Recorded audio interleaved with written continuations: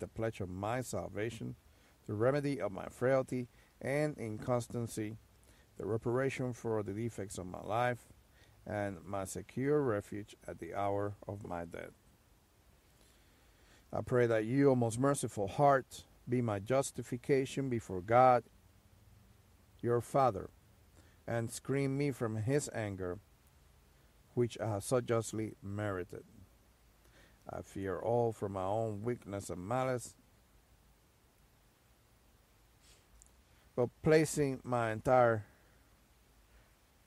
confidence in you, O heart of love, I hope all from your infinite goodness.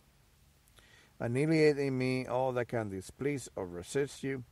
Imprint in me your pure love so deeply in my heart that I may never forget you or be separated from you. I beg you through your infinite goodness, grant that my name be engraved upon your heart.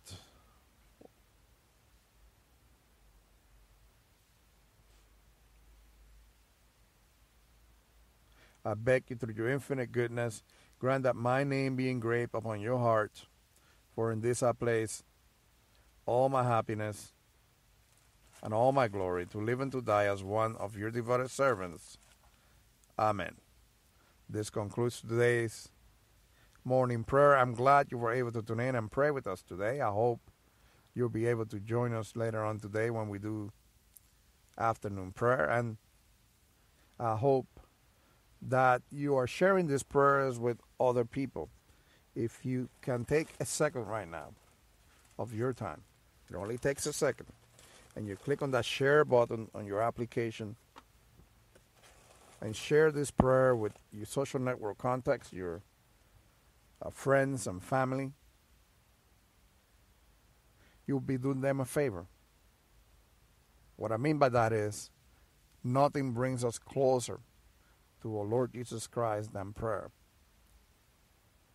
Prayer changes things. Prayers fill the hearts of those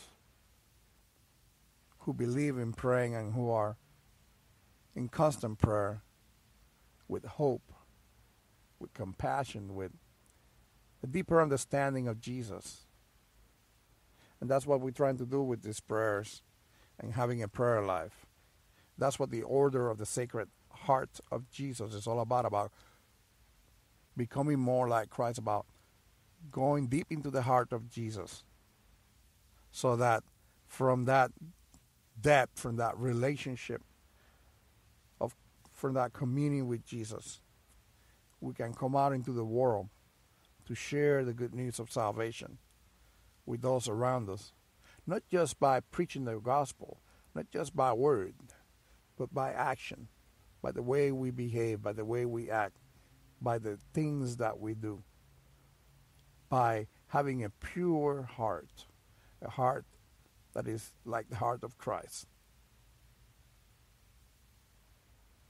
If you want to find out more about the Order of the Sacred Heart of Jesus and about how you can become part of our ministry, I encourage you to visit us at Sacred Hearts Jesus sacredheartsjesus.org.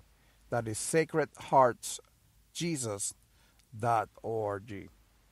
I hope you have a wonderful rest of the day, and I will see you tomorrow. I mean, today later, today afternoon, for afternoon prayer.